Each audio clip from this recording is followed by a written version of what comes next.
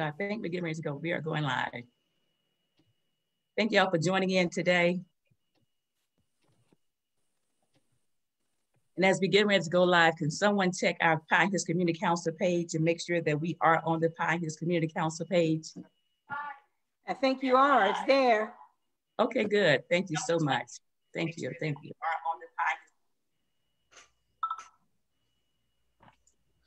Why, why am I getting echo? Okay. No, that was me checking to see if you were on Facebook. Okay, thank you. So we are, thank you very much. Good evening, everyone. Thank you, thank you. It is a few more minutes. We're not quite 6.30. I think the clock just turned to 6.30 and uh, folks are still signing in. I thank you all again for joining in on the Pine Hills Community Council today. This is our monthly community meeting. I'm Patricia Rumpf and I am your president of the Pine Hills Community Council. We're gonna go ahead and call the meeting to order. It is exactly 6.30 that we're calling the meeting to order. We'll open up with prayer with Pastor Joey, followed by the Pledge of Allegiance led in by Pastor Joey, and then we'll get into our meeting. Pastor Joey, please. He is our second vice president, Pastor Joey. Let me do one more thing. If you're uh, here with us live, And you'll please put your phone on mute if you're not speaking. Thank you very much. Pastor Joy, the prayer and the Pledge of Allegiance, please. All right. Well, Lord, we thank you for being so great and so mighty and so awesome. And we thank you for allowing us this opportunity to come in and discuss the things of this uh, community and putting things to action. And we thank you for uh, everyone that's on uh, that that their input and everyone that's part of the council and and all of the uh, the police and representatives and just everyone that's something, God. We thank you, God, for what you're doing in this community. And Lord, we just pray, God, that in this meeting, God, that we would be led by you in everything that we do. In Jesus' name, amen. Amen. Um, let's salute to the flag. Is it right? Yes. Okay, good. Yes. The other way. Uh, I pledge allegiance to the flag, flag of the United, United States, of America, America, and to the republic, republic for which it stands, stands, one, nation, one nation, under God, under God indivisible, indivisible, liberty, liberty and, justice. and justice for all. Amen. Amen. Again, thank you for joining us. Uh, if you're able to share, go on your Facebook page and share what the council is doing so everyone could be involved and understand what the Pine Hills Council is doing. Again, I am Patricia Rump, your president of the Pine Hills Community Council. We have several of our board members with us today. Our second vice president, Pastor Joey is here. We have uh, uh, Bettina Bush, our secretary, have our treasurer, Ms. Van. We have our board members, Dr. Nichols. We have um, Dr. Uh, Itler here with us today. We have Joey, um, John, John Anthony Williams here with us today. And we have Ken, another board member here with us today. Did I get all the board members? Let's see if we can turn page. Is there anyone here that I missed as far as a board member? Okay. Again, thank you for those that's tuning in live. Thanks for being here. And for those that are watched on Facebook, thanks for joining us here on Facebook. Again, the Pine Hills Community Council is a 501c4 nonprofit organization. We are nonpartisan. We're a civic organization. We're here to express the need and the interest for those that's in the Pine Hills area. We are uh, well respected on the local, state, and federal level of government. And we're primarily your everyday working people, just like you. Your bus drivers, your restaurant workers, your doctors, your lawyers, your judges, your retirees, and your legislators, and your business owners but we're here to invest in, in uh, for the interest of the area of Pine Hills. Again, thank you for joining us and come back again. Please join us. So I'm going to, I, I need uh, everyone to please mute your phone if, if you're not on. So I'm gonna go ahead and start off with the agenda. Let's see if I can share a screen here. Get started with the meeting here. So again, please keep your phones, microphone muted if you're not speaking. And the order of business here is, if I get this thing going. That's not what I want. So I can turn this page. I've been fooling this all day long. You think I would have it by now. Okay, let's just get out of here. So the order of business here, we're gonna do the approval of the minutes. I sent out the minutes uh, earlier to the board, to the uh, council member. So if you are a Pine Hills Community Council member, you should have received a copy of the minutes. And if you received the copy of the minutes, can we get someone to, if you had opportunity to review the minutes, make a motion to accept the minutes or make any corrections from the minutes? I move that the minutes be accepted as printed. I second. Thank you. It's been moved by Ms. Richardson and second by Ms. Fatmy Hall. Is there any questions? No questions or discussion. So the move, uh, the minutes are approved. The treasury report. Let's see if I can put the treasury report here. That's not what I want. I'm gonna go back to share screen. I got the treasury report someplace. I thought I did. Yeah, you showed it a minute ago. I did, didn't I? Mm-hmm. I tried to fool with this thing all the day. You would think I would have this down by now, but Mm-hmm. when you play with it too much, and that's what happened, huh? Let's see, share screen. That's not what I want either. Mm, no. ah, give me a break. Let's let's try this. One more time, good people. This is it right here. Let's oh, let's open this up. I'm pulling up the minutes if this thing will allow me to. I'm sure it will, but okay.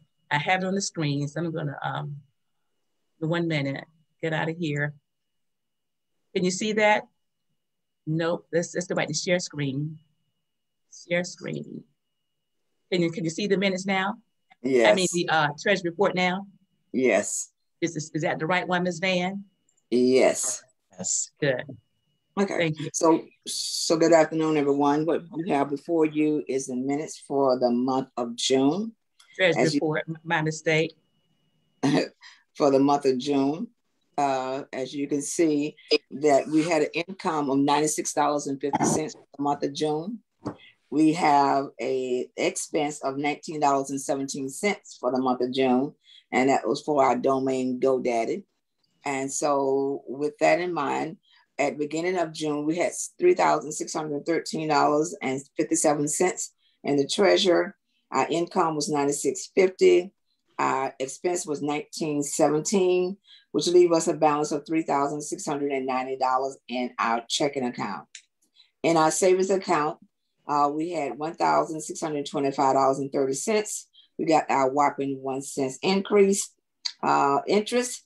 And so we got 1625.31. And in our uh, separate um, savings account at Sun Bank, we have $7,783.43 and forty-three cents, and we received a seven cents um, interest, and so our total is seven thousand seven hundred eighty-three dollars and fifty cents. When you combine our two savings account and our uh, checking account, the total that we have on hand is thirteen thousand ninety-nine dollars and seventy-one cents. Are there any questions? I have none. Okay, if not, I turn it back over to the uh, president to finish. Okay. So the uh, the treasury report is approved as presented. Thank you, Ms. Van. She, she does a great job doing her treasury report. Thank you so much. And thank you, Bettina. Does a great job in her uh, uh, secretary recording. So we're gonna move through the agenda. And I was hoping I would have this agenda here, this thing. But there we go. I knew I did this today. It's a matter of figuring this out. There was agenda. We did the um, one more thing. here. We, we did the, uh, hold on for a second. Sorry about that, good people. I'm gonna get this right in a minute. There we go. We had the call to order, the welcome, approve of the minutes, the treasury report. So now we, we're with the president report. And the president report is gonna be uh, pretty brief because we have three guest speakers here today and we want to get, uh, get opportunity to give our guest speaker that time that we allowed them to bring the update from the state legislator. So with our president report, I want to bring an update about our in-person meeting. Uh, we still have we still have not received approval to go back and do in-person meeting at nighttime. The county has not opened the building to us at night. Normally we would meet at the Pine Hills Community Center and our meeting usually held at the center, which is a county, county facility at 6.30. So that has not been opened up to us. So from this point forward, until I hear anything different, we will continue to have our virtual meeting. So that's what the update is for, is in-person meeting. The 5-5, uh, we had talked about the location on Powers Drive, the 5590 uh, Powers, Powers Place retail facility that's opened up a, a business with several outlets in that business. And one of the outlets in that business was a liquor store. And uh, I received word from uh, Commissioner Moore's office, which this business will be located in District 2, that the liquor license has been approved, even though we fought diligently against that for this a liquor store to come in our area, but that has been approved. Other thing I want to mention is that we also was working on this, uh, a litter ordinance with, with Orange County. We know that uh, in 2012 in 2008 and 2012 with the um, subprime and lending, Pine Hills Community Council suffered this type of litter abuse with household items being placed on the curb. So we put together a, a, a, a presentation. I went to the Board of County Commissioner meeting prior to going to the Board of County Commissioner meeting, I spoke with a, a real estate attorney, I spoke with property owners, I spoke with landlords, I spoke with apartment complex manager as to how we can resolve this litter abuse in the Pine Hills area of putting out household items. Did the PowerPoint presentation at the Board of County Commissioner meeting. And from that presentation, this is part of the presentation. From this presentation, uh, Orange County has reached back out to us and uh, let us know that uh, what we propose, let me backtrack, what we propose is that the ordinance, the Orange County order, little ordinance on the book be modified in such a way that says when there is an eviction and a large household items trash out, that that landlord would notify solid waste in writing of the household item that will be set outside. So solid will give them a notice.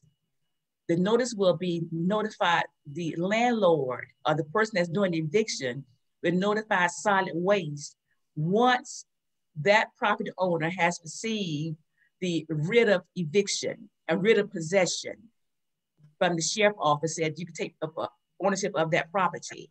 So we're saying in 48 hours after that landlord received writ of possession, I am, I'm, I'm gonna mute a couple of lines here. Saying writ of possession that uh, that landlord notifies solid waste of what's going on. So solid waste will have a heads up and be able to go back and pick up this, these items and not let these items sit on the curb sometime weeks and almost a month. The good news is, like I said, once we did this presentation to the Board of County Commissioners, the uh, Solid Waste Department and Neighborhood Services has been meeting about how they can rectify this problem and not let this abuse of litter sit in the, on the curb for uh, more than a day or two days. And they've been meeting and has been uh, looking to meet with the Orange County legal staff. And so things are moving forward. And I'm glad to hear about that. So is there any questions about what we presented to the Board of County Commissioners? No. So that was that. The other thing is one quick announcement. We talked about this earlier. There is a meeting coming up. I'll make this couple announcements. There is a meeting coming up if you've been following Orange County government, they've been having several webinars about 2050 vision plan. as to how they're going to change the orange code throughout Orange County and to uh, uh, uh, what their plans for, for 2050. And so now they're, Orange County is breaking out in different communities. I was saying earlier, I went to one in Lockhart today, and the Pine Hills will be hosting their breakout section on July the 26th, 27th, and 28th. It will focus on Pine Hills Road from Silver Star going south to Colonial. That's really District 6. They will focus on how we want to, how they plan on developing that Pine Hills Road. It's very important that you in turn, that you try to attend all the workshops to understand what's going on. The 26th will be a workshop. What I gather from going to Lockhart uh, event is that the 26th, the first one would be, we would go and present our ideas to the planners of, of Orange County. They will present their ideas. And we as a resident will say yay or nay, well, let's just make some changes. We would, we would submit their changes to them. And then the 27th would be a, a uh, like a walkthrough. The 27th would be held, like you see, at the Experience Church. It'll be from 10 to 4. And during that time, 10 to 4, what I experienced at Lockhart today, you walk in at your own time and own pace. Orange County planners are there. They will uh, have a map of the area that they're focusing on, and you could continue to communicate with them, get better understanding of uh, what you presented on the day before, that Monday. And then that Wednesday, 28th, we come back together again at uh, uh Barnett Park. And what we came up with on the 26th the planners will have it presented and ready to have it on the maps for us on the 28th. So it's very important that we participate in all these workshops, the 26th, 27th, 28th. If you're anything like me, I like to know what's going on in my community and I wanna be a part and give my input in the community. Quick note, we need to register. You can say, you see here says due to limited capacity, pre-registration is required. So uh, please go here. This information will be on our Facebook account. This information will be on our website. Uh, if you need the flyer, uh, put in the text or email us at info at pinehills.info and I will send the information to you. This is our email address. If you need the information, send it to info at pinehills.info I will send you the flyer for more information. But please, people, let's stay engaged. Like the young folks say, let's stay woke. So that's my update for the president report. Are there any questions? No questions. I'm gonna stop sharing and go back. We're gonna have, um, we on time. We're gonna have two committee updates, one with our sheriff department and one with Dr. Nichols. On, she's going, Dr. Nichols is going to talk about our event that's coming up on July the 24th. So we have Deputy Mark Davis with us with the Sheriff Department here today. Deputy Davis, is is on you. Hi, good evening. Thank you for having me join your meeting. Uh, I'm stepping in for Captain Ela uh, as he's out and away, and he has given me the overview report of um, crime data, year-to-date comparison from 2020 to this year, 2021. Uh, when it comes to homicides, we are down 50%. Robberies, we are down 44%. Persons crimes, we are down 8%. Sex crimes, we are down mm-hmm. 39%. Auto theft, we are down 29%. Residential burglaries, we are down 25%. Commercial burglaries, we are down 32%. And auto burglaries, we are down 44%. So overall, the total of all crimes combined comparison of 2020 to 2021 year to date is down 31%. And now I'm open for any questions you might have. Any questions? Um, Anybody? What person's crime was down how much? I'm sorry, which one? Person's crime. Persons crimes are down. Oh. Give me a moment. I just lost my sheet. Uh-huh. Uh, let me go find that again. So I have a question, but I'm not sure this is your, yeah, that's your area. That was an Okay. incident. That was, go ahead and, and, uh, and, and answer uh, Ms. Cloughton's question. I'm sorry. Person of crime. Go ahead. I'm my mistake. Uh, Deputy, go ahead and answer Ms. Cloughton's questions. Okay, here we go. Uh, the person's crimes are down 8%. Okay, thank you. Yes, you're very welcome. There was an incident that occurred that occurred a couple of weeks ago about I think the guy name was Benjamin, a young guy that was found shot over by Mollie Ray Elementary School. Are you familiar with that? Uh, that I am not. Um, do you have, um, did you have the approximate date? You said about three weeks ago? If that long, it wasn't quite three weeks ago. He was found shot in his car on India, India Atlantic and Kingsland. Okay, I recall hearing that on the news. I, I'm not privy to the case, um, so I don't have any available updates on that, Okay. Okay, okay, unfortunately. okay, no problem. Madam Rump, I did have my hand up. Yes, ma'am. Um, Thank you. I had a question for Deputy Marga, just basically clarification and also with this data, because we've been, as a council, speaking about talking points and specifically about crime Okay, um, in our area as compared to other areas. And we know and we're hearing month after month um, when you all come on that crime is going down in our in our community in Pine Hills. However, there's still the negative perception is that it is higher than or more than. Um, so my question is is is there a way to obtain this specific data that you're referring to Mhm. so that possibly we can begin to start developing our talking points related to crime specifically. Uh, the information that they had passed to me is, um, it's basically titled a Pine Hills Overview Report, and I'm assuming that it's run based on, uh, the zip code.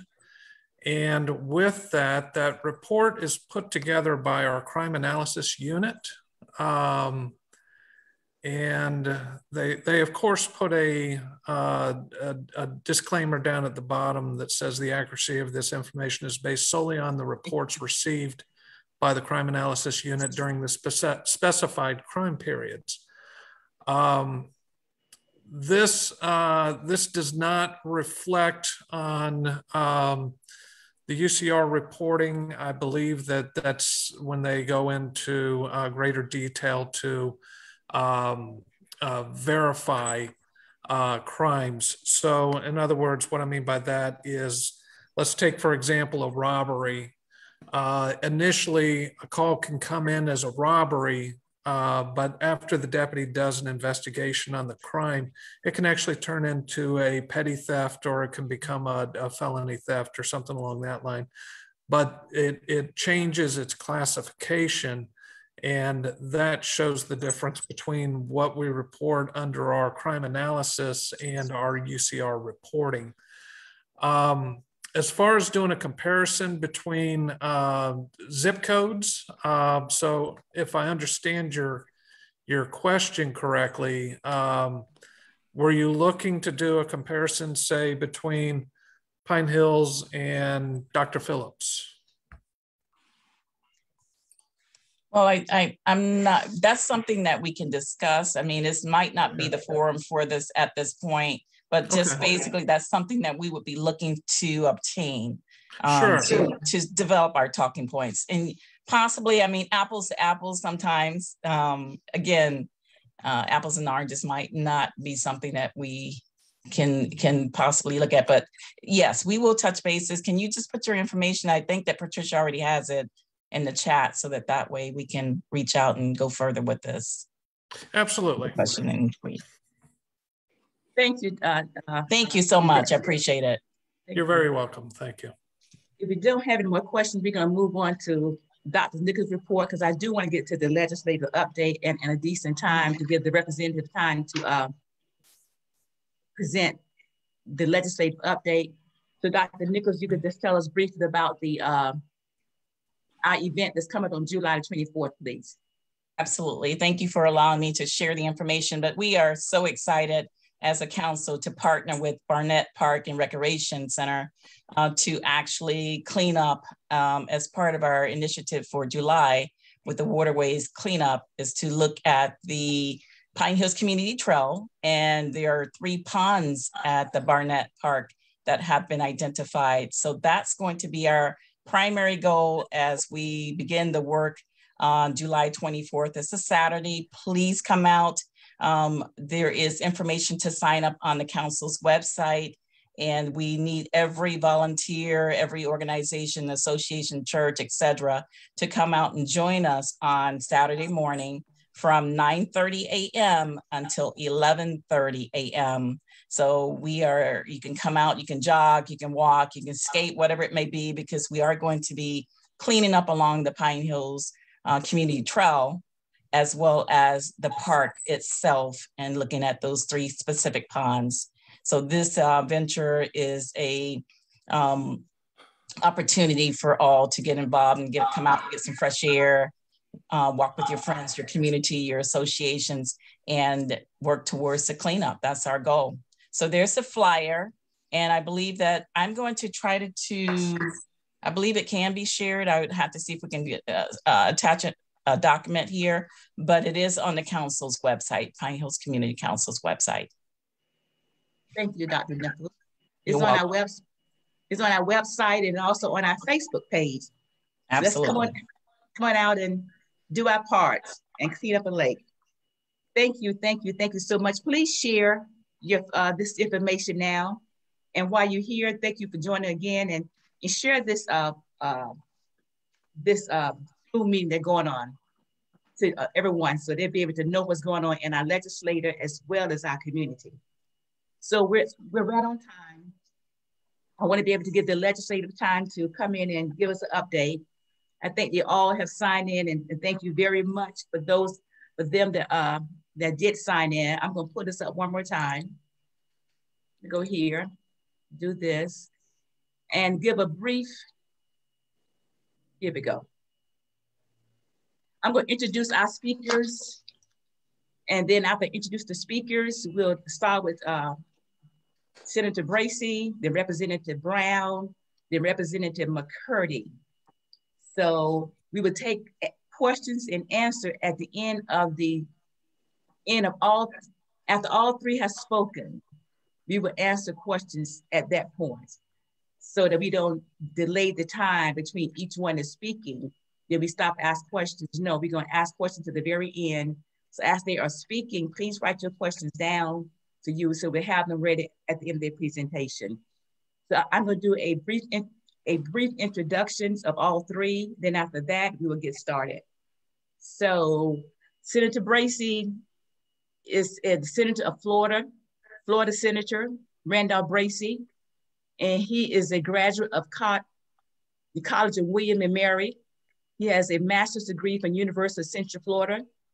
He has been a senator since he started in the legislature uh, quite some time ago, but he's been a senator. No, he started in 2012, serving his four-year term as a state representative, but the House District 45. In 2016, he successfully ran for state senator, but the 11th district and became the first African-American in history of the state of Florida to be appointed chief of the Criminal Justice Committee. He, with his tenure as a chair in 2018, he is now serving as vice chair on selected committees on the pandemic preparedness and response, and is a member of the appropriation, rules and transportation, ethic and election, and Appropriation Subcommittee on Criminal Justice and Civil Justice. This is Senator Randolph Bracy. We have Representative Kamia Brown. Representative Kamia Brown is a native of Orlando, Florida. And I've been knowing Representative uh, Brown since before she started, probably started first grade or kindergarten. I'm a native and she's a native and her parents are native. And she has been uh, doing this type of work for over 13 years. She started, she began her career as an intern, as a legislative aide over 13 years ago. Today, Representative Brown is a House Democratic leader. She is the vice chair of the Florida Legislative Black Caucus. She served on several committees. She received her bachelor's degree in political science and concentration in public administration from FAMU. I guess she couldn't get in UCF. So that's my school. Of course, you know that by now. And she was uh, received recognitions from the uh, Florida Professional Firefighters Association for being Legislative Aide of the Year, Representative Kamia Brown. And then we also have Representative Travaris McCurdy. Travaris McCurdy was born and raised in District 46 where, where, where he serves. He also attended FAMU University, has a bachelor's degree in political science. He is the former chief legislative aide to Senator Jen, uh, Geraldine Thompson and State Senator Randolph Bracy.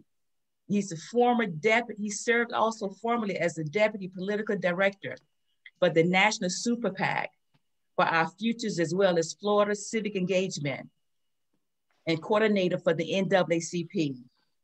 On November uh, 17, 2020, uh, McCurdy was sworn in as representing District 46 in the Florida House of Representatives, which includes parts of Orange County. And uh, representing um, McCurdy plans to focus on the needs of the community in the areas of housing, criminal justice, reform, education, senior citizens, and economic in this Florida legislature. Let us welcome here today with us Senator Randolph Bracy, Representative Kamia Brown, and Representative Thomas McCurdy. Thank you very much for being with us today. Thank you for taking this time out. We're gonna give the floor to, first off, Senator Randolph Bracy. Senator Bracy is on. Thank you, Patricia Rumpf. I appreciate it and everyone that's on this call. Um, I'm not sure how you wanted to uh, present it, but I, will just, I'll get us started. Um, this, this legislative session was very interesting to say the least. There was uh, quite a number of things that got a lot of attention that uh, I did not support, as well as uh, the two representatives, Representative Brown, Representative McCurdy, which we did not support, the anti-protest bill. The anti- yes. Thank you, thank you. Let's do, we are right at 7.05. If we do 10 minutes each, say five to five to 10, seven to 10 minutes each, and put us right at 7.35, then we could go into question and answer. Okay. 10 minutes, well, okay. I, well, let me, I'll just focus on criminal justice right now, because I didn't know if you want us to go to our individual uh, bills that we both we all worked on. But the way the agenda has it, we'll, we'll focus on just the larger topics. And so okay. I'll focus on criminal justice. Okay. And then I'll let them talk, and then we can talk about our individual bills. So, okay, thank you. Uh, just yeah, so just to look at um, criminal justice, this is something that I've fought for in this space for years since I've been elected, and so we had a number of bills that uh, that I've focused on. Uh, marijuana expunctions. Uh, we passed that through the uh, through the Senate. Um, uh, uh, some of the other things that we always talk about, um, but what what really did pass that that, that I was really proud of is a police reform package, and this is a bill that I sponsored in the Senate worked with the House leaders uh, to pass. And so it's unprecedented to see a bill like this. And so I think this is probably the main thing, uh, criminal justice wise, that did pass that I'm extremely proud of. I'll just talk a little bit about that.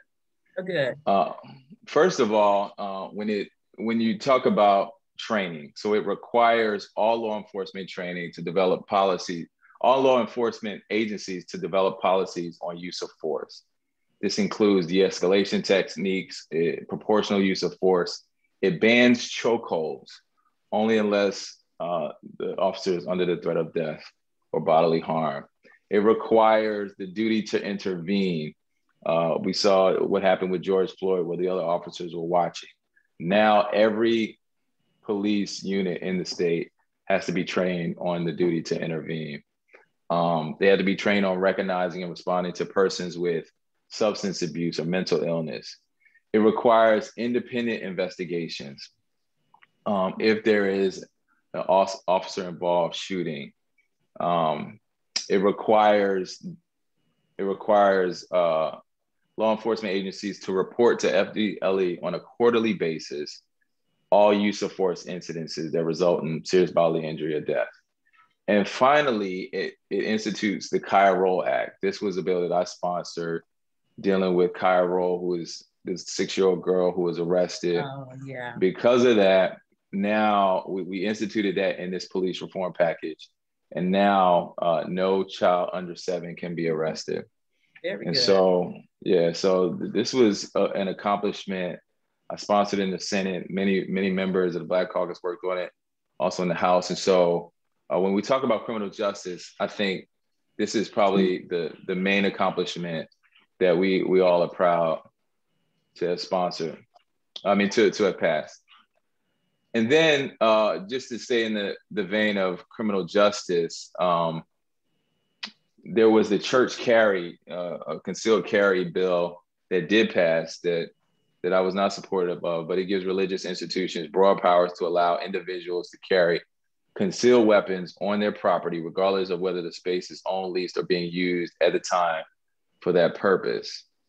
Uh, so it, the bill supersedes any uh, concealed carry laws, and so it, it expands uh, open carry laws basically. Um, and then obviously there's the anti-protest legislation. We can get into that a little bit later, but it it really uh, hampers people's free speech and, the, and their ability to protest injustice. And so I think it was directly um, in response to the the protests that we saw last summer and, and the governor trying to make a statement uh, against those protests. So uh, I'll leave it there. Just I know we're limited on time. I'll let my colleagues speak and and then we can talk about some of the in, other individual bills that we work on. Okay, so who's up next?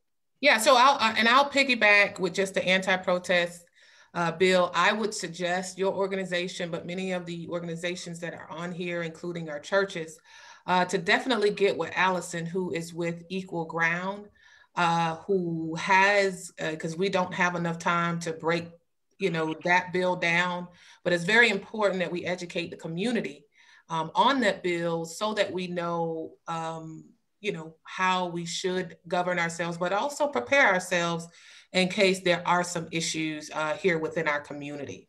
Um, and I'll just go, uh, you know, just real quickly with the civil liability bill. Uh, that was also a bill uh, that was a huge bill that we started off the legislative session with. Uh, and pretty much that, that bill, the civil uh, liability bill, uh, basically provided immunity for organizations uh, for businesses, for educational institutions, for religious institutions.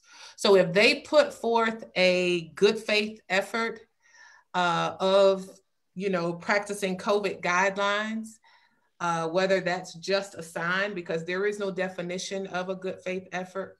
Uh, if they were to do something even just simply as a sign, but not even cleanse, they would be immune um, from being sued by a particular person.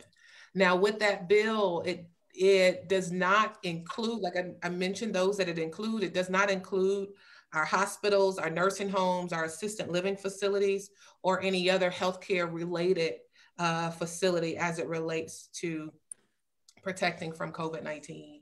Um, and also that bill provided a one year statute of limitation for you to uh, put in a claim on whatever entity.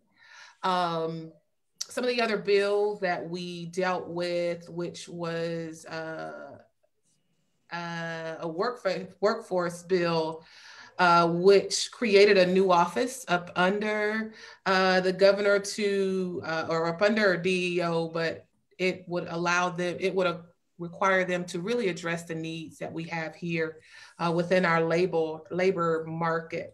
And so it would actually have them uh, create reports, uh, establish new grant programs, new trainings, require um, our school boards and our state uh, college systems, institutions to create a money back guarantee, which would refund folks, um, graduates, their tuition if they were unsuccessful in finding employment. Really? Uh, yeah. And so, you know, that information will be on the DEO website.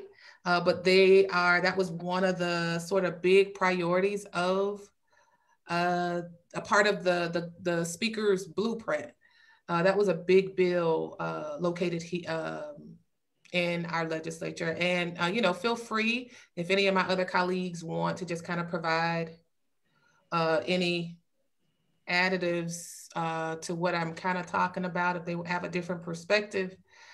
Um, and so, yeah, it also, we worked on creating additional programs and trainings and learning opportunities for many of our workforce, but also many of our students within uh, our high schools. Uh, uh, so yeah, so uh, well, it would also allow them to create digital credentials and uh, career readiness as well.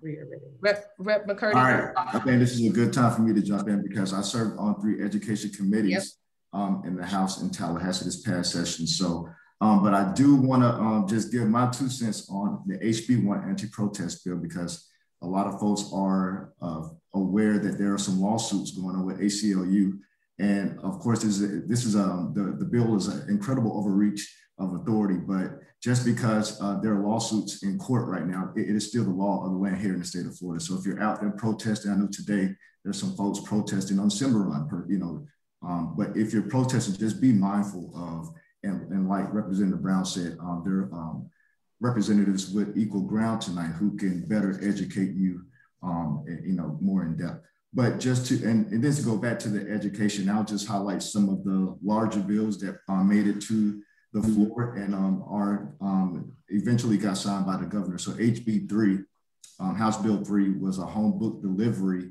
for elementary students um, program. That'll be a statewide initiative. Um, it'll create uh, creates the New World Reading Initiative to provide at-home literacy uh, support for elementary school students um, that are reading below grade level. So uh, Representative Brown and I actually, we worked together um, for a different organization where we were helping um, identify children um, that receive level ones and twos on their uh, statewide exams, the FSA scores, um, and that were being retained, uh, third graders that were being retained because of those low reading scores. So that was something that I was very um, happy to see. I have a mobile literacy um, uh, program here in the district too. So that, that bill was very important to me. So we'll start seeing that um, a hard copy book which should be delivered monthly to uh, uh eligible students uh, throughout all 67 counties. Um, HB 419 was an early learning and early grade success uh, bill that passed. Um, it revises the governance and accountability for uh, uh, early learning programs that are implemented through the Office of Early Learning.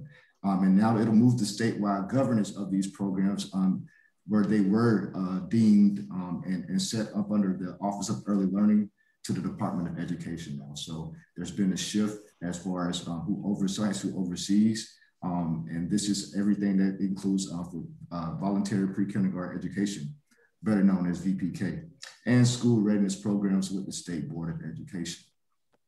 Um, it'll also, this same bill uh, requires the commissioner of education. If you don't know who that is now, Google him. His name is Richard Corcoran and uh, to design and implement starting with the 2022-23 um, school year. So I employ everyone on, uh, on the Zoom, everyone listening tonight, um, to just please be vigilant and, and make sure we know the folks who have these types of responsibilities in crafting, um, you know, the next, what the next 10, 20 years look like. Representative Brown and I and Senator Bracy, we are, um, are parents of young children who are, are at some point will be um, in the public school system. So these um, topics are very um, important for us. So uh, with that, do would you like us to talk about some of the individual bills that we had briefly? Or? And yes, and also just really quick, yes. just to add to that, with that early learning bill, this has been a very controversial issue uh, as it relates to how do we uh, grade our VPK students or our kids in uh, our early learning system. You know, within our Pine Hills community, definitely you see at least 20 per block of VPK or nursery programs. Okay. And so that has always been an issue as to whether or not many of those students that are there are leaving to be ready and prepared for kindergarten. So it's been a, a, pretty controversial issue. And, and, and mainly in beginning is how you do, how do you screen, but also how do you really put standards in for a three-year-old, four-year-old, uh, or even a five-year-old? Why are they testing at such young um, young ages? But I think it's important that we, uh, you know, as community leaders and and uh, and parents really kind of pay attention to what how this thing will be crafted because it'll start the 20, 2022 2023 year um, as to what those standards are uh, and how they will be testing. Um, but it's, it's, it's very important that we pay attention to that and, and see how we need to move forward with really using our voice to protect our babies. Senator Bracy, we, in, Senator Bracy, you, you want to say anything else or you want to go back into your individual bills? This is good information uh, so far. Yeah, no, it, it, it was, um, I, I, think that we've all covered it. So, I mean, there were, there were a couple of other bills that definitely um, were highlighted this year. I'm sorry, I'm trying to pull it up. Um, yeah, no, well, there was a ban on transgender women, girls from playing in sports. Uh, that was very controversial um, since we're on the education uh, portion. So I, I, thought that was worth mentioning. That that took up a lot of time in Tallahassee debating that. Very controversial, but um, and it was partisan issue. But uh, I'll just throw that in the mix also. But but I can start on if we got a couple minutes. I'll just yes. talk about a couple of bills that I sponsored. One that's probably gained the most attention is the Randolph Bracy Ocoee Scholarship Program. I'm proud of that. Uh, it is it is in uh, direct response to the Ocoee massacre of 1920. So last year I was able to pass a bill that will require schools across the state to teach about the Ocoee massacre, and that will start this fall. So this year, uh, we have some call it reparations, what have you, but um, it is compensation to the descendants of the Ocoee massacre. So if you are a direct descendant of the Ocoee massacre, you will be eligible for a $6,100 scholarship from the state. But also, this is interesting in that if the descendants don't take advantage of that scholarship, if they're not enough, let's say, then Ocoee African American students, whether they were a descendant or not of the massacre, can also apply and take advantage of this scholarship. This scholarship will go on in perpetuity, uh, indefinitely. Um, it's similar to the Rosewood Scholarship in that Rosewood was passed in 1992, and it's still been going on for 30 years. And so I expect this this scholarship program to go on uh, well into the future. And so very proud of that.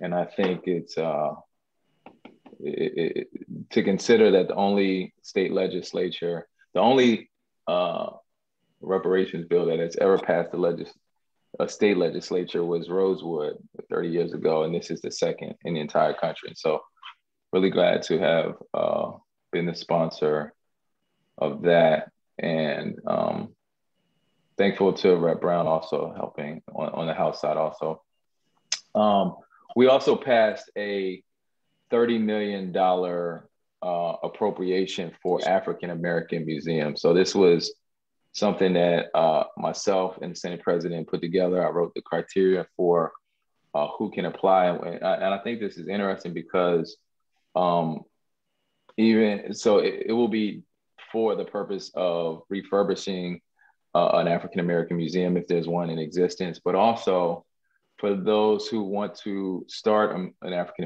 American museum, they can apply to the state for these funds and can receive up to $500,000.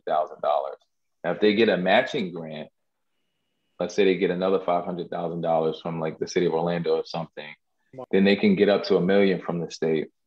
Um, and, and, so this is another unprecedented um, group of monies that would be directly uh, dedicated to African American history. And so uh, I, I, I'm very proud of that.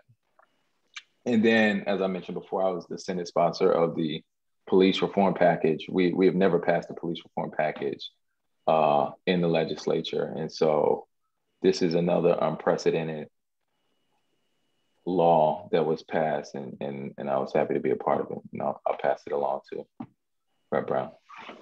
Okay. Uh, and so um, my focus this year was healthcare and sort of health disparities. Uh, I sit, just real brief, I sit on uh, the Healthcare Appropriations Committee, the Commerce Committee, Insurance and Banking, Tourism, Infrastructure, and Energy Subcommittee, Rules Committee, and then I was also placed on the uh, Select Committee on Gaming. Um, and so, you know, by sitting on the appropriations, uh, the healthcare appropriations subcommittee as rank, ranking member, my priority dealt with uh, moms. Uh, I had the opportunity this year to sponsor a postpartum Medicaid bill, which would extend uh, Medicaid benefits from 60 days till 12 months for our moms. As some of you on this call know, I am a new mom to a now 10 month old son. Yes, um, yes. Had had my baby during COVID, and so I saw the importance of uh, of healthcare, but also access. Uh, and so it just kind of made me want to push a little harder uh, with making sure uh, my advocacy spoke, but also we were able to do something for our moms during this time. And so with that uh, postpartum Medicaid bill, um, and, and uh, what they end up doing was the, the speaker wanted to do something to help Black moms as uh, we've kind of heard with many of these talking points, uh, Black moms, there are healthcare disparities within um, maternal health. And so Black moms are three to four times more likely to die than white women or any other race. And so with 45% of our births um, happening on Medicaid, it was important uh, to really uh, pass this piece of legislation. And so I am just grateful for the speaker and his support in this legislation, with also helping me get the $239 million allocated and putting wow. pressure on the Senate to really wow. do something to protect our babies and our moms. Um, and so we were able to do that. It's just a, a one step. It's a huge step in the right direction. Um, there is more to, to come as it relates to this maternal mortality crisis, but that bill will definitely be able to impact uh, many of our women who are um, child, you know, carrying babies, but also giving them the healthcare benefits they need to take care of that child once they go home, but even up to a year after. Uh, we also had the opportunity to sponsor or establish a telehealth program. You know, for the past several years, we've kind of heard telehealth, telehealth, telehealth. Uh, and, and many of us had the opportunity to uh, participate in many telehealth appointments during COVID. However, there has never been established a maternal telehealth program. Um, and you know, those with the, the, the, Orange County Health Department actually shut its doors and were unable to provide health care to their moms. And so uh, I was successful in getting a pilot uh, established in a telehealth program, but also a pilot program that provides uh, money here in Orange County, but also the other pilot will be in Jacksonville. And what this would do is provide toolkits. If we're if we're trying to save lives uh, many of these women, you know, they need the tools they uh, to take care of themselves at home. And so it is a collective partnership where we were able to get Healthy Start to participate.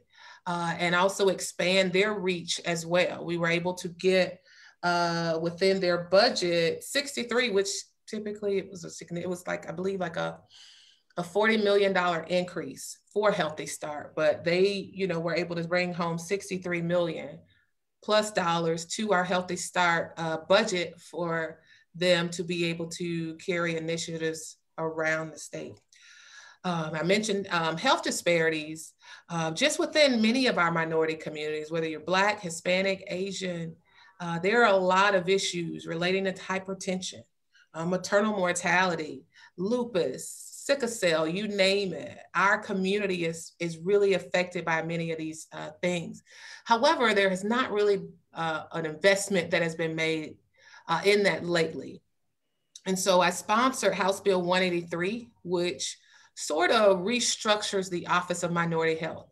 Office of Minority Health has been around for years, let's say about 20 years, uh, to really focus on educating and providing grants to local communities to really deal with the health disparities that are going on uh, within our communities. And so it uh, created, like I said, uh, restructured them. It provides more uh, FTEs for the Office of Minority Health.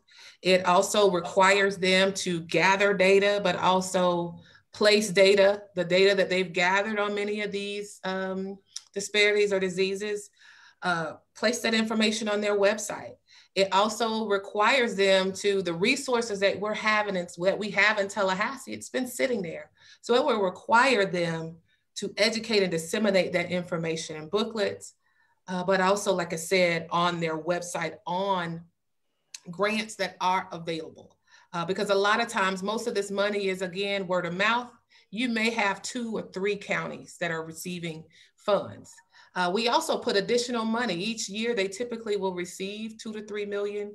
Let's say 20 years ago, they were up in the upwards of 11 and 13. But this year, we were able to uh, put in their budget 9 million plus dollars to really deal with this. But also, um, what's significant is it is it establishes a minority health liaison in each of our 67 counties, which is big. Uh, that minority health rela- um, liaison will be responsible for getting within our communities to provide them the information and resources that we have as it relates to health from the state. It also requires that the Office of Minority Health to uh, work with our federal um, with our federal government to make sure we pull down all of the dollars that we are eligible for to really help move the needle on many of our health disparities. Just to kind of highlight on some local projects, uh, we reestablished the Florida Center for Nursing, which will help uh, which with our shortage, we were able to bring in $800,000 uh, for them to provide training, uh, but also re- uh, to help with these shortages within our hospitals and, and in our healthcare system. Uh, the Apopka Fire Station, um, those that uh, are on here that may live in the Ocoee or Apopka area, um, you know, with that new area that's being developed, there is not access to fire and there is a fire station that sits right there at that new Advent Health uh, facility because it doesn't have a home. They have a trailer right there and beh- right behind the hospital. And um, Senator Bracy and I were able to finally bring home money so that we were able to build this uh, this fire station and get them out of a trailer that they've been in for a couple years. And they have them in that trailer because again, it it uh, you have so many homes yeah. that mm-hmm. being uh, built within that area, and it helps with reducing the the the call time instead of 20 minutes or you know 12 minutes for them to get to a fire they are able to kind of get to it in a short matter of time so we're happy that a new fire station will be established uh, within that area so that we are able to provide additional safety uh, for uh, our families but also their assets um, and I'll kind of touch bases on this, but again, I'm going to ask Allison again, Allison with uh, Equal Ground. She is able to, because we did not get a chance to talk about it. We're running short, of course, but the voter suppression bill. Uh, we all have heard about that particular bill, which was a very unnecessary bill, but it limits the amount of um, early voting times, but also our ballot boxes.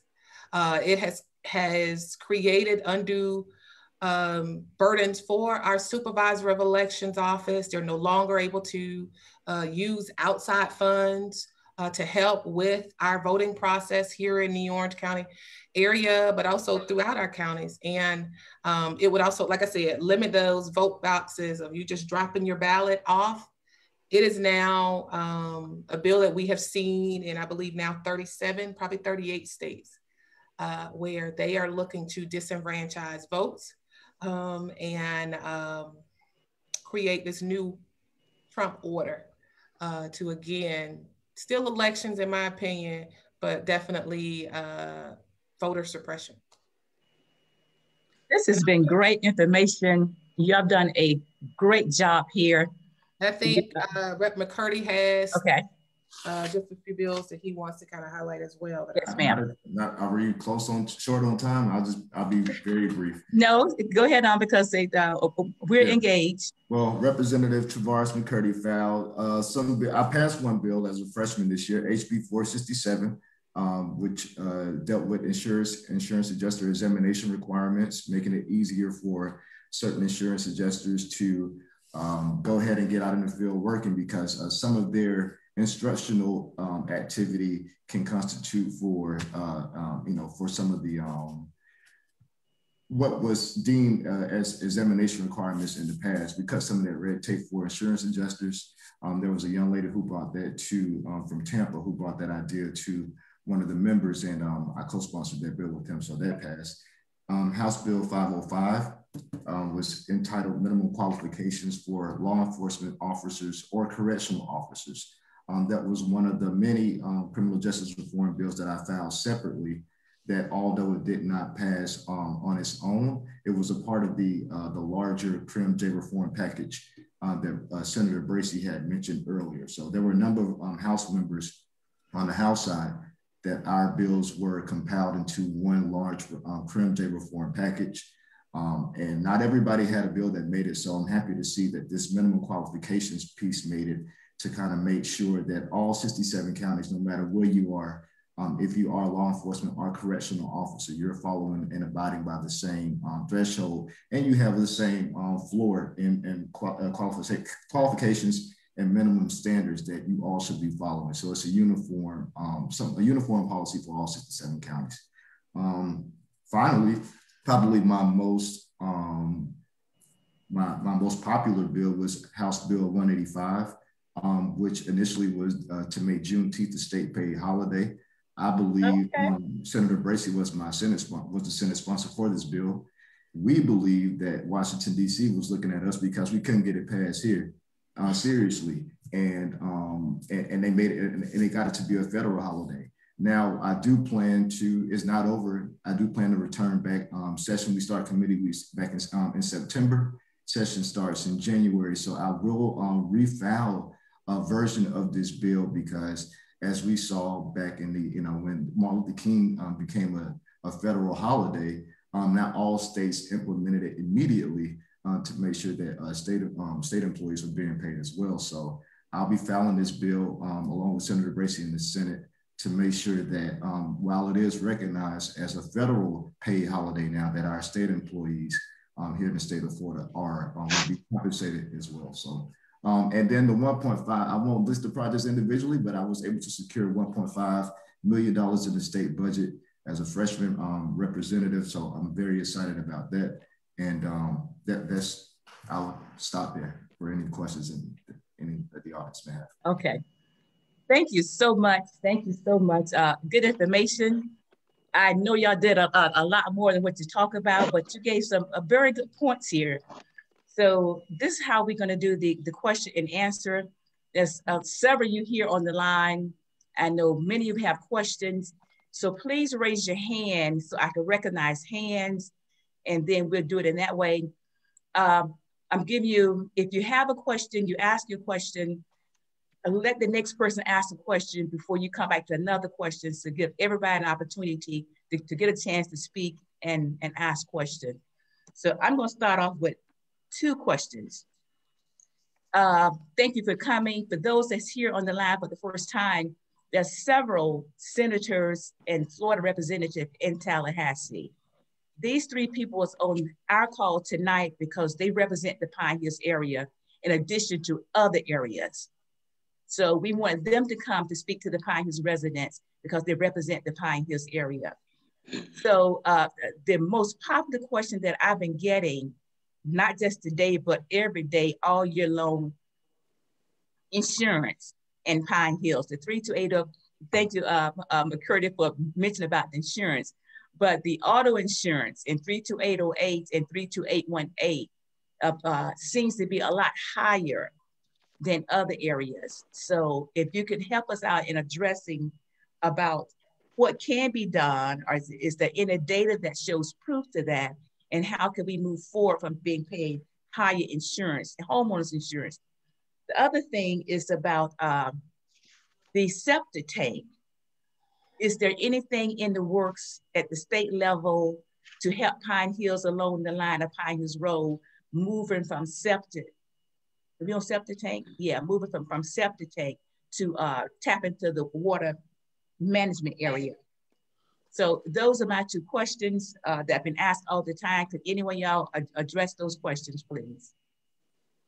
Well, I'll start with the insurance. Um, there was a that was debated. It was it was negotiated between trial lawyers and roofers and uh, insurance folks to try to bring down the cost of insurance. And for years, there has never been, we've never been able to get a bill that we've actually been able to pass because, um, you know, a lot of people say because of the the lawsuits um, from claims and such, and it has it, it has raised the prices of insurance, and so we had a bill that we finally got through the legislature, but the governor just vetoed it. And so uh, we're back at square one. But I think that bill would have made a dent in reducing those uh, insurance costs. So uh, I'm well aware of it. I talked to many insurance uh, executives and, and just people that have their own insurance business. Some people know Mr. Pat Gray. I talk to him about this all the time. And so uh, we've tried to address it in the legislature, um, but there is disagreement on how we best tackle that problem. But I, I, really thought that the bill that we had this year would have would have um, made an impact on that. Okay. Thank you for an answering that question. So, what about the other one? Uh, about getting. So, so yeah, so there is. I know we and this is another issue that we've kind of been working on. Um, as you know, we've done several town halls um, on this particular issue, but also just the outcry to the legislature that something has to be done. Um, as you know, that our area is a priority area uh, due to just past legislation that then Representative Brummer um, sponsored to have everyone to convert to a special tank uh, but that special tank is super duper expensive. Yes, yes. Uh, but also it causes different problems. So um, as we look at uh, again trying to kind of clean up the environment, clean up the clean up Lake Apopka, many of these other areas. Uh, this year, just with the additional monies that we received from the American uh, Rescue Act, uh, we were able to uh, include a huge lump sum of money. Um, and I forgot the amount, but it's a, a huge amount to where uh, counties, uh, it's an infrastructure grant uh, where counties can uh, apply for monies um, to do um, conversions, such as the one you're referring to with the septic to sewer. Uh, it is a conversation that I've asked to have with the county.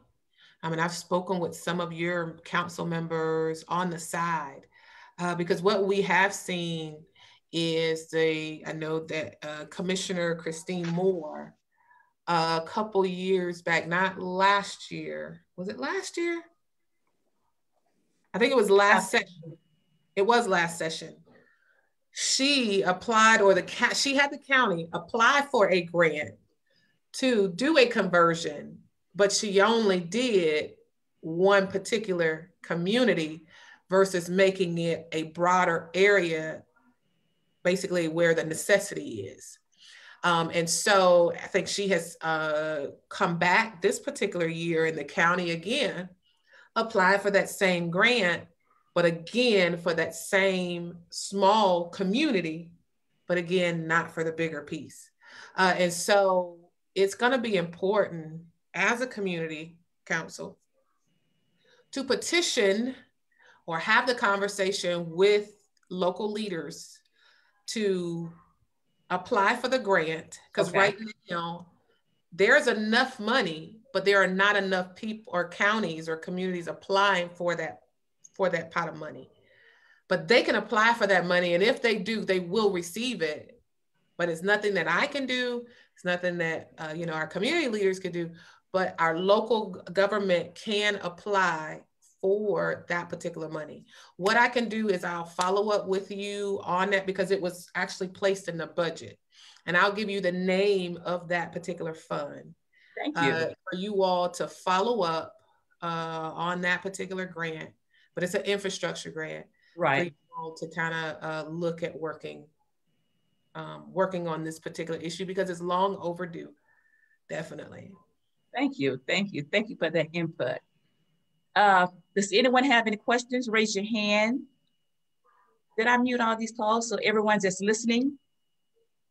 While we are waiting on some questions, I guess, uh, we forgot to mention, forgive us, some of the tax holidays that came out of the tax package. Okay, yeah. So yeah. I know there are some people waiting um, for our uh, tax holidays, but we have um, currently we have one going on and it was the freedom week. If you've kind of looked on uh, my instagram my facebook we kind of put that out there but it was from july 1st to the 7th so like on camping supplies fishing supplies any outdoors any admission to museums parks festivals all these were tax free boating and water activity supplies also sports equipment. So that was one um, tax holiday that we have passed, but also our back to school holiday.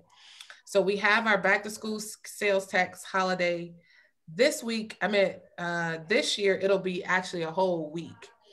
Uh, the past couple years, you know, just due to you know available funding, we've only done let's say a weekend.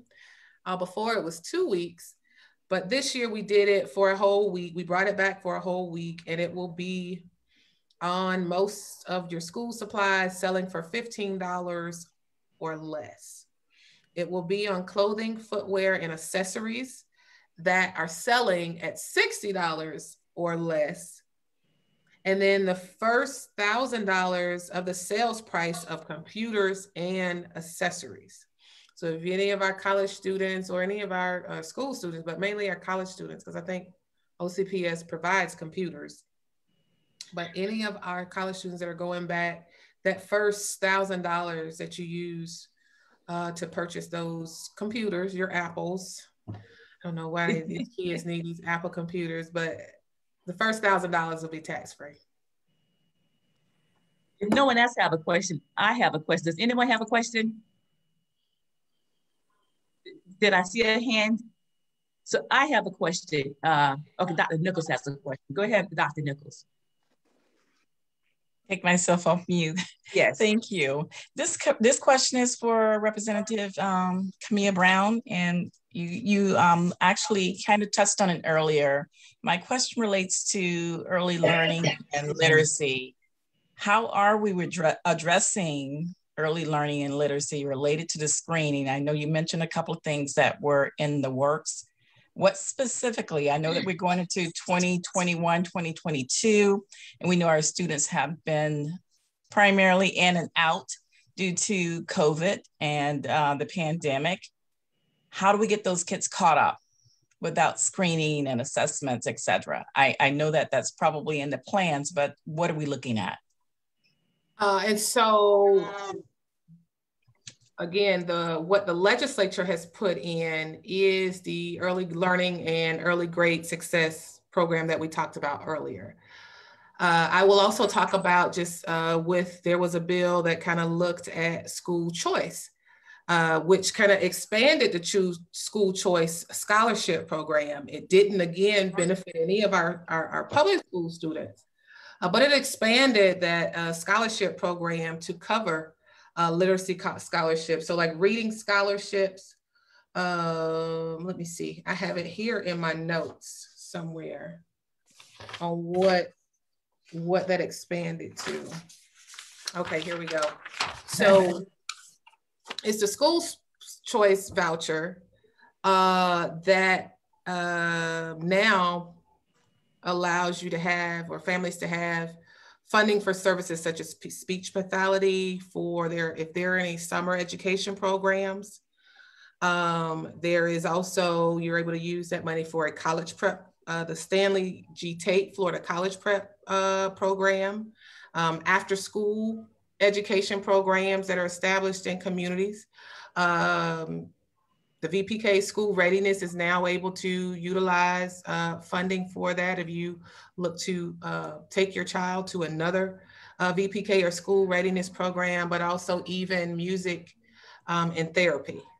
Uh, what that bill also did was it repealed the scholarship for the Gardiner Scholarship and the um, McKay Scholarship. Many of our students with disabilities uh, utilize those scholarships, and now it puts them in the pot with everyone um, else. It also uh, increased the federal poverty level. Uh, uh, it was like a 75% increase, so it's now 375% of the household income. So you're talking about for families that make roughly about a, a hundred thousand dollars, uh, they are now eligible to utilize these uh, scholarships. There, uh, Representative McCurdy mentioned it earlier. There is, and that program was through the Urban League that assisted parents, um, and I believe that is still there. It's a reading scholarship, and that reading scholarship was, I be, believe, about five hundred dollars, uh, and that was through the Department of Education. That uh, parents were able to get this five hundred dollars, take it to a tutoring facility, or or use this particular five hundred dollars to help with their children coming to grade level. Um, and so those right now are the, the, the, projects that the state has from that perspective. Um, I would look forward to seeing what specifically our school districts will be doing uh, the school year. Uh, I have not personally sat down with them um, on that uh, and how they plan on rolling out a program to help uh, I know they are, have been in, in, contact with the Department of Education, but uh, you know these were just particularly the things that you know we worked on. Um, the Office of Early Learning, which um, he mentioned will kind of go away, has also been working on, and I believe this was a bill we did last year, uh, working on making sure we put in standards to those that are receiving, um, you know, county money that's used for our early learning programs. Um, because right now, as I mentioned, that there are a lot of issues uh, with many of the VPK programs within the Pine Hills community. Yes. Uh, but we definitely needed to put in more standards and making sure, uh, you know, many of these mm-hmm. organizations mm-hmm. are educate actually educating kids versus babysitting them. Absolutely. Thank you for that. Hey, Appreciate it. Yes. add, uh, to that Yes, sir. Um, what, are, what are we doing? I think um, the, the legislature as a whole, what they did this past session with omitting the test scores is uh, a sign that uh, the legislature is concerned and showing good faith and don't want to put any um, unnecessary constraints on children um, and families as well with having these uh, test scores count against them because kids were doing virtual learning opposed to being in a brick and mortar um, setting. So I think that's already something that we've already done. You asked what we uh, plan to do. So uh, of course, uh, like Representative Brown mentioned, there's much more that we can do. But I think that was something that was very important because initially that wasn't a guarantee that those tests, uh, those FSA test scores were not going to count for this uh, this past school year that. So I think that's something that's very important to mention. I've got a question. If no one else has a question, anyone has a question? I've got two more. I don't see a hand. I have two more questions. Um, Representative McCurdy, you mentioned earlier about a, a, book of the month. How does a, a, student qualify or find out about receiving these book of the month? Then my second question is, you, uh, we talked a lot about grant dollars. How does a local organization, a nonprofit organization, or a, a, a local community organization submit a request for some of these grant dollars that's available to these local organizations? What's the process? I'll answer the easy question first. Okay. when it comes to the home book delivery, which was House Bill 3, um, it created a new world reading initiative. So every child in the state of Florida will not necessarily get a book. And this is only for uh, elementary school students who are reading below grade level. So these students are already identified. This, the school and the school districts will relay that information to the Department of Education and it will be, uh, be identified that way. And so those children uh, will specifically be enrolled in this program, in this initiative, and they will receive the um, books um, delivered to their home, one, one, um, one book per month. When it comes to appropriations, is what we call it in the legislature, because the state doesn't necessarily uh, hand out grants um, to you know to individuals. So we deal with appropriations. Uh, the grant process is a, is a totally separate process within itself. Um, and the legislative appropriation project, which is um, in layman term, is is literally is just the state budget. So we you know, state budget, um, work to pass a balanced budget. That's one of the three um, components that we are sworn to do as as members of the legislature. So um, have a conversation. Number one, with the area members who represent you in the respective um, chambers in the House and the Senate. Number one. Number two, uh, understand that the, uh, what you're asking for, um, make sure that you have all your supporting documentation, um, do your research, and just um, realize there are certain things that the state, what's very important when it comes to asking the state for money is what's going to be the state's return on investment. The state, just because they're, you know, they're a state and they have this large pot of money, they're not just going to, um, you know, not, that's not just writing blank checks. So they really um, have uh, certain criterias um, certain provisions that, that really matter when it comes to these projects. But you have every right to have that um, one-on-one conversation with um, our offices, our staff who can um, better educate you on this process. And then when it comes down to something that is agreed upon and that's worth um, sponsoring, um, you'll just, you, you need a Senate and a House sponsor. You have Senate and House members on this call tonight. Um, and it's just like a bill, we'll work it.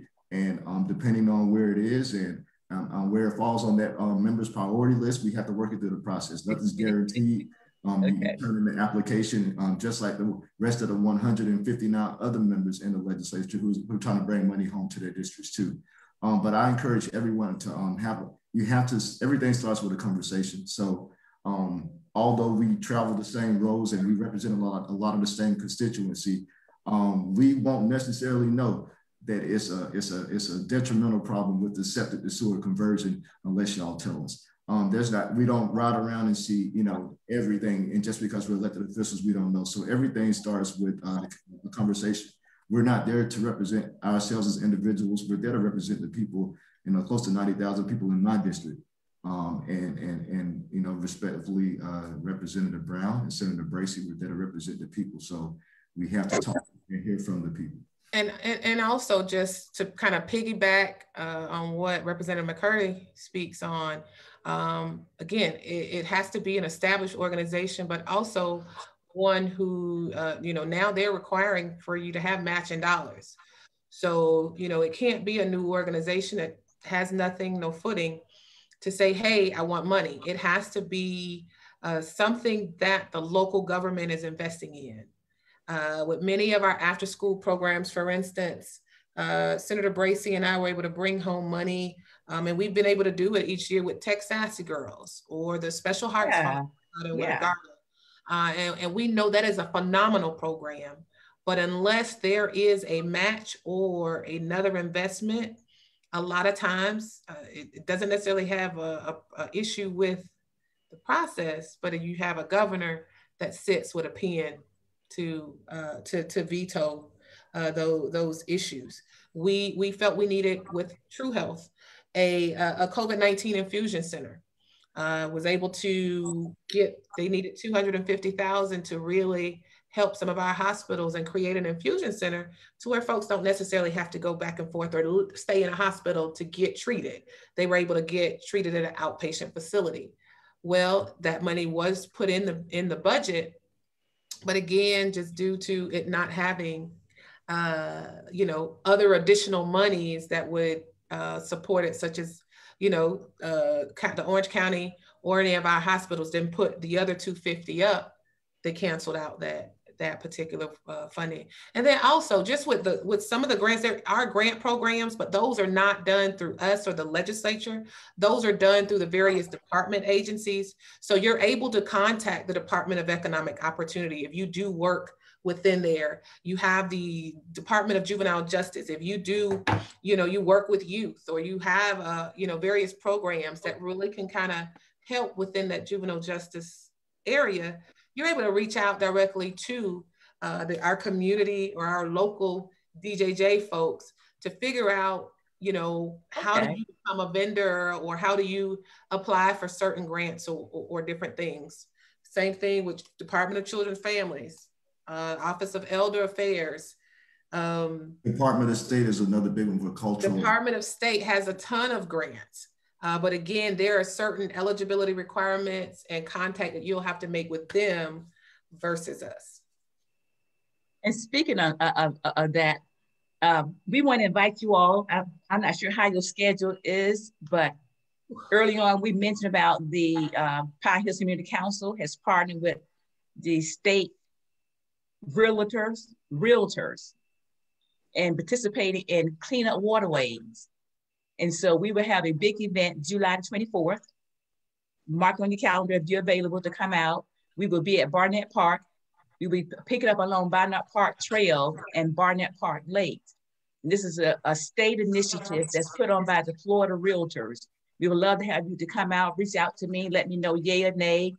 Your, uh, your aid has been very helpful. All of the aides has been very helpful in staying in contact with us, uh, with the council. So let us know if you could be there to do the opening or say hello and, and, uh, and greet your constituents. So are there any more questions? This has been a great session. I have enjoyed it. And I hope those that has been listening has enjoyed it. Good information. So are there any more questions? This has been a quiet group. well, I want to just take the time to say hello and thank you all for being on the call. Uh, and then thank you all for being a part of the Pine Hills Community Council.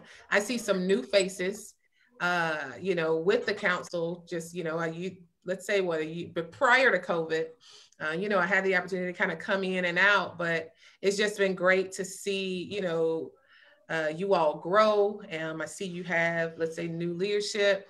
Uh, hello to Ms. Fatme, um, who is no longer the president. I believe this is your second year Ms. Pat. So I want to say thank you for all the work you do.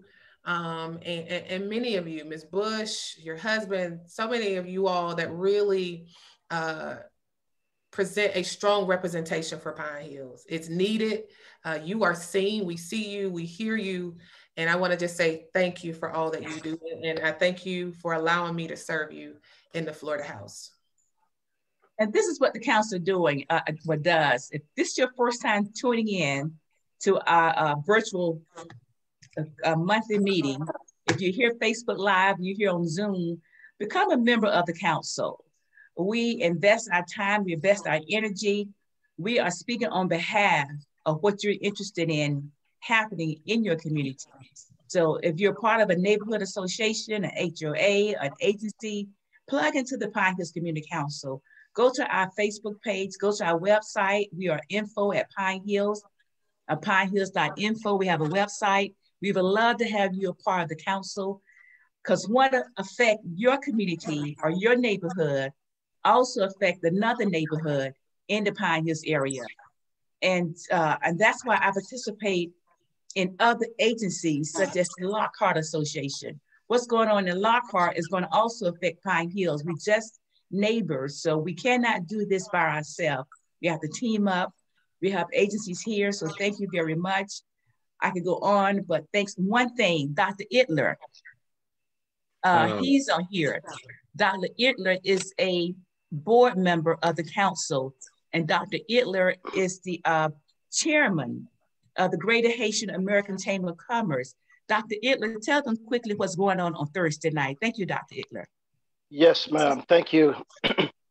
yes, in light of the uh, assassination that happened over in Haiti uh, last week or week today, uh, we, uh, the board, in collaboration with Orange County Commissioner uh, Victoria Siplin, will be hosting a vigil on the 15th at 6 to 7 an opportunity to show solidarity, but also to uh, strengthen and bring awareness more to, to our community, give them a platform to come in and share their, their, their, their grief, if you will, because as Haitian descent, we all hurt. Uh, even those of us that are living here uh, away from the uh, main uh, issue, we want to stand in solidarity with them. So thank you. If you're able to participate, if you're able to attend, please come and support. And that will be where, where would that be at? That is Thursday. Hello. That's that's Thursday night at Barnett Park. No, it starts at six.